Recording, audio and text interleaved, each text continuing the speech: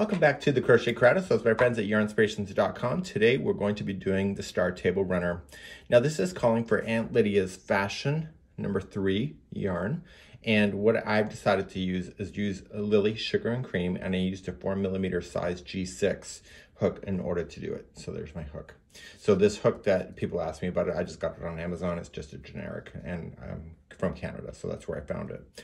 So what we have here is that the stars are made up individuals that, you, that you'll see and they're joined as you go so you don't need to sew them together so you just got to strategically put them together at the points uh, when you go to do so and I'm going to show you how to do that today so you can see here is the layout on page number two of all of the different ones so if you want to add more stars or take away stars to match whatever you're deciding to do you can easily do that there. So it's just a matter of strategy. So without further ado, we're gonna just show you the sample that we're gonna be adding to, and we'll be going from this point. So here's a couple stars already done. You can see that they're joined at the points right here. So you just keep on joining things in order to make it happen. So um, this is a nice, easy way to do things like this. And uh, I think it's gonna be quite awesome. There's also a diagram on page number three of the pattern as well, of the actual stitch work itself. And we're going to begin our journey. So let's grab a yarn and hook now. I'm just gonna be using Lily Sugar and Cream, just with this color. I believe it's called Beach Glass. And I'll just show you so that it's easier to see where I'm sticking my hook. So let's begin and we're going to chain a total of four with our hook.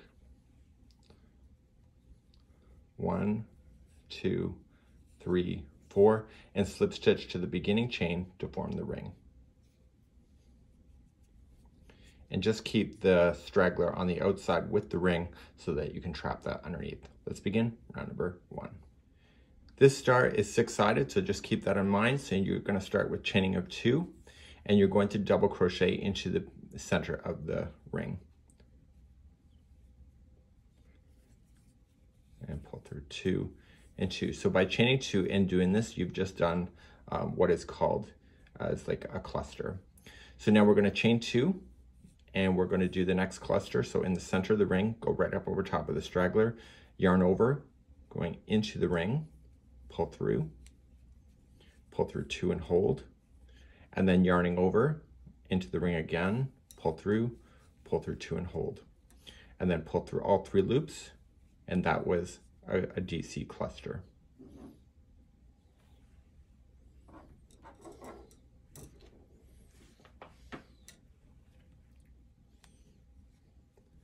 So carrying on, you want to chain two and do another DC cluster.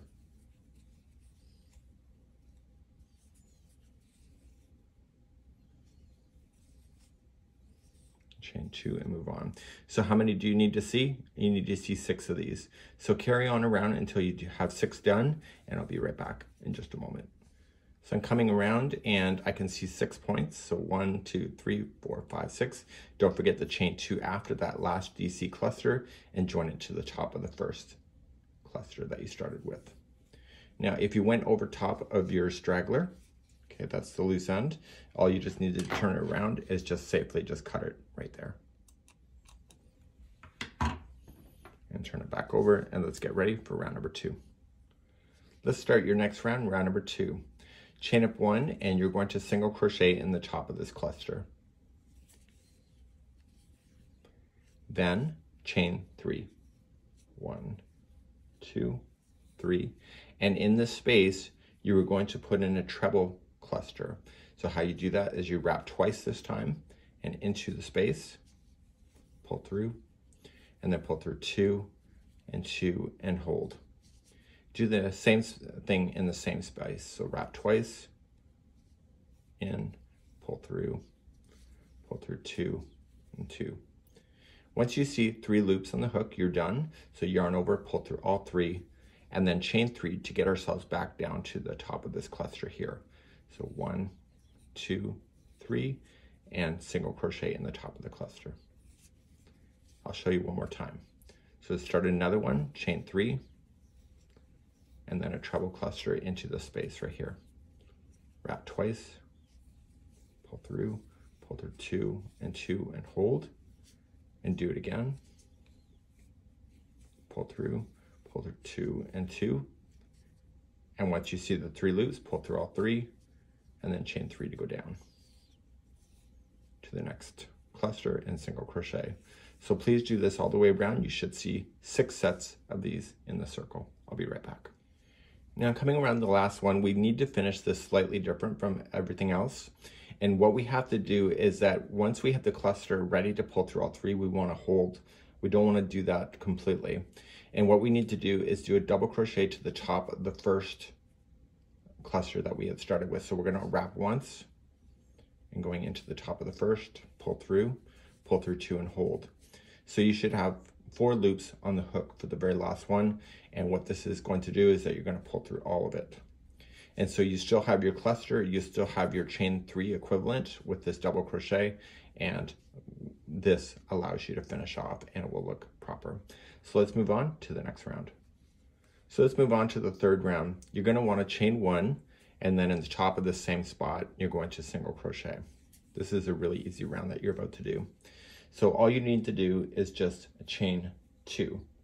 So one and two, and in the single crochet between the points, you want to apply one treble,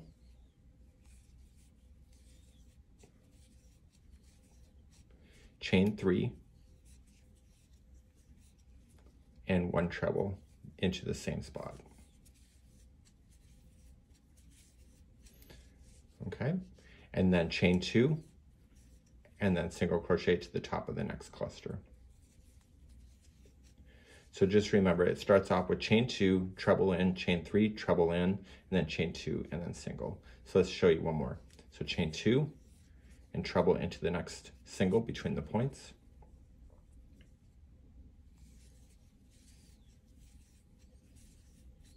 Chain three,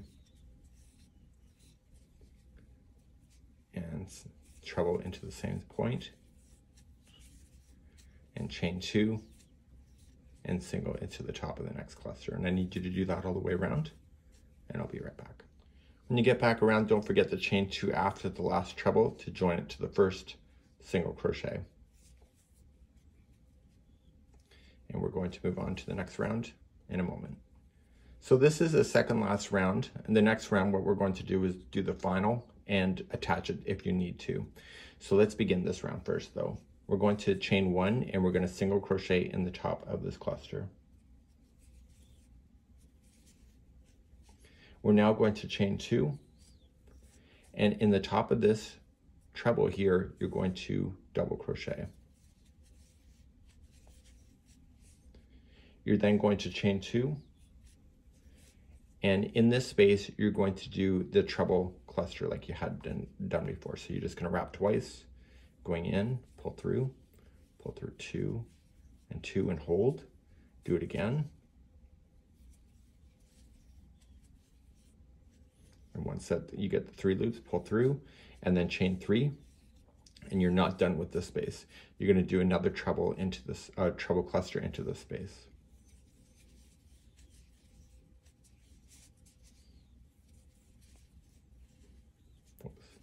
Make sure you wrap that hook twice.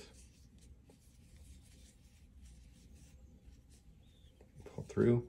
And now we're gonna start coming down the other side. So we wanna chain two first, and we're going to double crochet into this treble.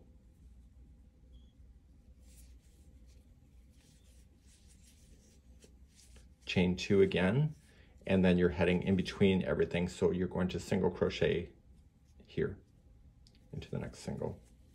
Let's just review doing one more uh, point. So you'll chain two to start, double crochet into this first treble that you'll run into.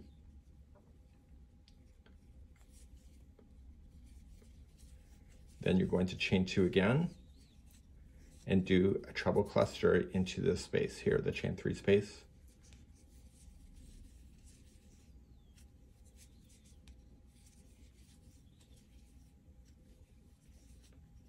Once that's done, chain three, that's the point and then coming back into the same space, do another treble cluster in.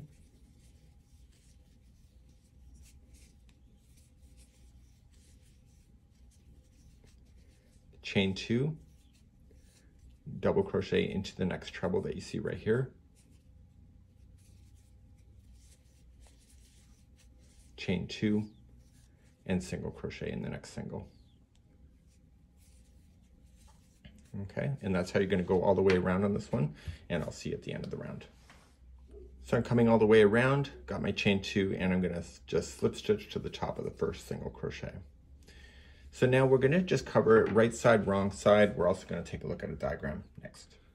So I'm gonna give you a piece of advice. If you're new to crochet or you cannot tell the difference between the right side and the wrong side, they have a very unique difference of the way that they look. So let me just pull at my hook a little bit. So this is the right side of the work. This is the side that we've been working through. The other side is called the wrong side. Do you see how different it looks? Just look. Okay? So if you cannot tell the difference, which is fine, what I want you to do is that I want you to put a spare piece of strand through some of the stitch work right here. So just get some of the stitch work up just with your hook. Don't try to rip apart your stitches and just glide a piece of yarn through. And so just glide it and let it hold. Now, if you're ever questioning whether this is the right side or the wrong side, when you turn it over, you don't see it. So this is the wrong side. So the yarn is on the right side of the work. And this may be very helpful because what you need to do is to make sure that when you go to put these together with its friends is that they're all facing in the same direction. So they're all facing right side, facing up. So we've been patiently working through this. We're gonna do our last round, which is in the black here. And on its own, you can go all the way around and then you can just have this as a coaster if you wanted to. However, the very last points, see here, these are what connect to each other. So you can start with your first one that will have no connections because it's your first one. And I'm gonna just quickly talk about that. And then what you can do then, once you have your second, third, and more, what you wanna do is join it strategically with each other by just going around the points that exist. So these points here, right, they'll be having three points. So you just gotta make it look good. Here's the thing with this kind of concept. If you decide to put your hook in a certain direction to connect, always put it in the same direction for everything so that everything is stabilized as you're working your way through so that the connections look proper. So let's uh, begin to show you how to do the final round and then I'll show you how to do the connection too. So I'm going to get you started on how it's done without a connection, and then I'm going to rip out. And I would strongly recommend to you that when you go to do this kind of concept, that you want to uh, be strategic in your approach on how you're going to do that. So let's talk about that. So if you just wanted to do the very first motif or there's no joining and you just want to use it as is, here's how you'll do it. So you'll just ch uh, chain one and you'll single crochet into the same single crochet that you did the join with. You're then going to chain a total of three. So everything is in sets of three here. So one, two, three, and you wanna come to the top of the first double crochet right here. And single crochet in.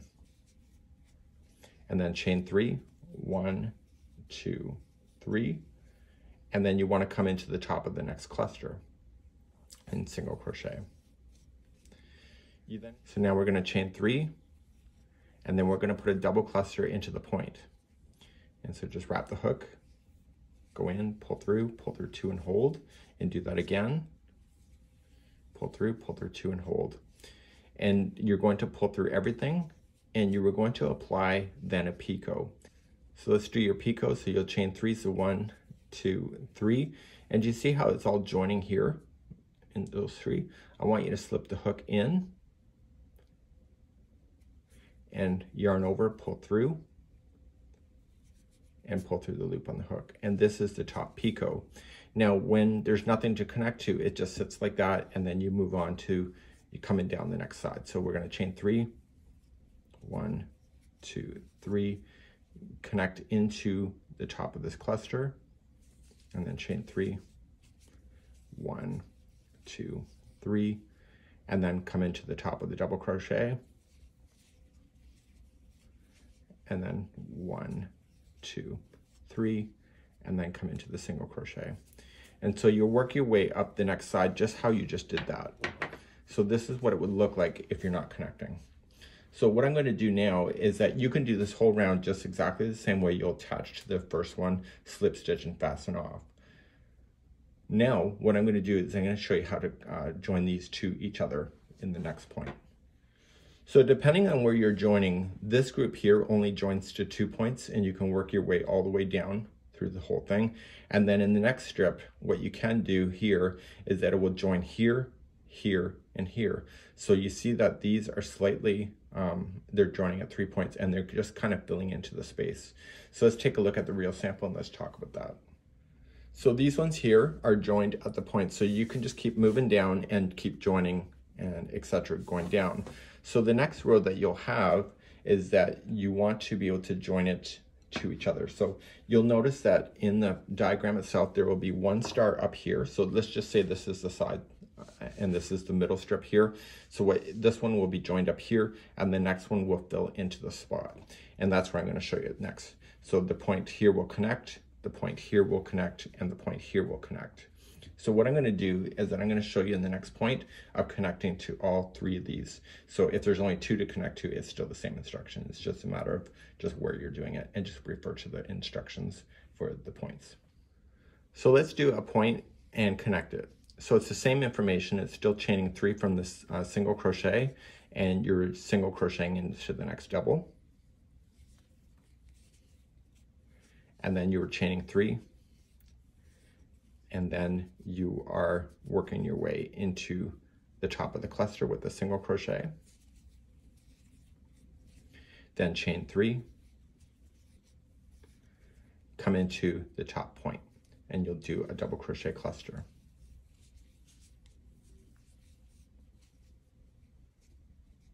Okay, so you'll have a total of three loops and pull through all three.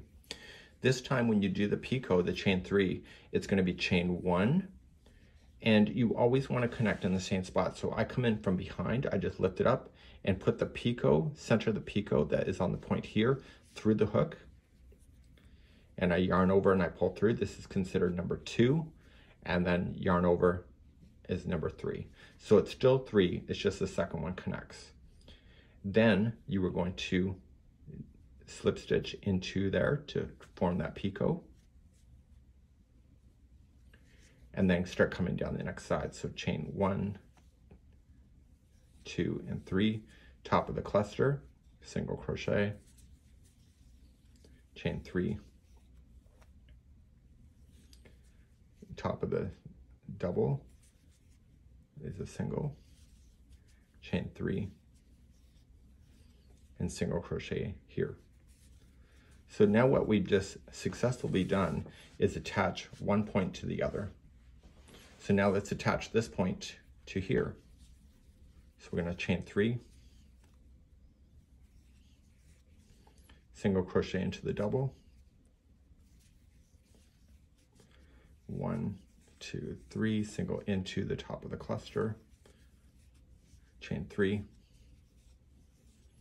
go into the space for the double crochet cluster. Chain one and then pick up here where it's joined. This is two and three.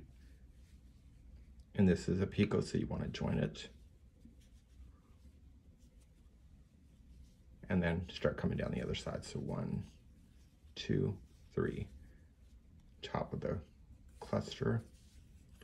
One, two, three. Double crochet in the double, or sorry, single into the double, and then chain three, single into the single. So now two points are connected. So if you have that issue of just doing two points, that's what it would look like. But in this case, we do want to go for that third point. So we want to go here. So we're going to head back up. So chain three, single into the double. One, two, three, single into the cluster, and then one, two, three, and we're going to do a double crochet cluster into the space. And we want to join it again. So chain um, one. Just remember to keep everything consistent. Go through the picot. This is two and three and slip and then come on down again. So just keep rotating things if it's easier. So one, two, three, top of the cluster.